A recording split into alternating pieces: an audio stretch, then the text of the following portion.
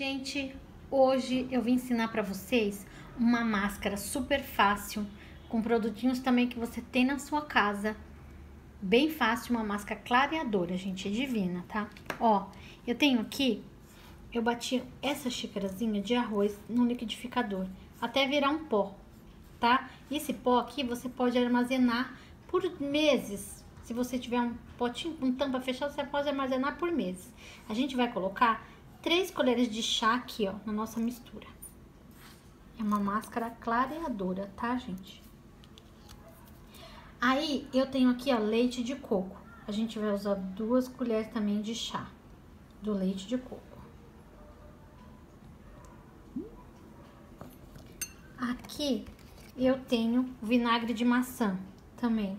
Duas colheres de chá na nossa misturinha aqui. Tem que ser o vinagre de maçã, tá, gente? Porque é pra pele, é do rosto, né? Então, aí precisa, é necessário, tá? Você amassou bem aqui. Agora, aqui, eu tenho meia maçã, que eu vou ralar um pouquinho aqui na nossa receita, tá?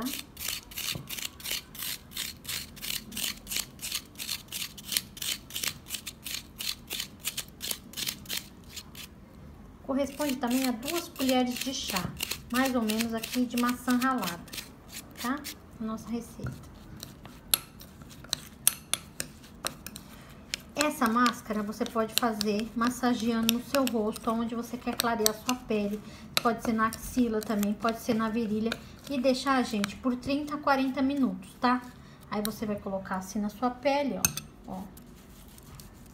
Vai fazer tipo uma esfoliaçãozinha junto com esse produtinho e deixar por 40 minutos tá? Ó, fica meio granuladozinho, né, ó. E já dá uma claridade na pele, gente, é incrível, tá? Eu vou limpar aqui pra vocês verem, ó. Eu já passei aqui, eu tô deixando poucos minutos, tá, gente? Mas tem que deixar um pouquinho mais, né? Uns 30 a 40 pra dar uma clareada na pele, tá? Vou pegar um papel aqui, ó, pra me limpar.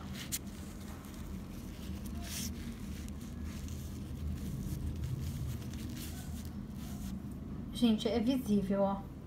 A esfoliação e a claridade na pele, ó. É visível, tá? Ó.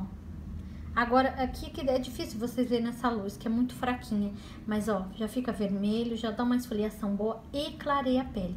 Só que você tem que massagear e deixar por 40 minutos, tá bom?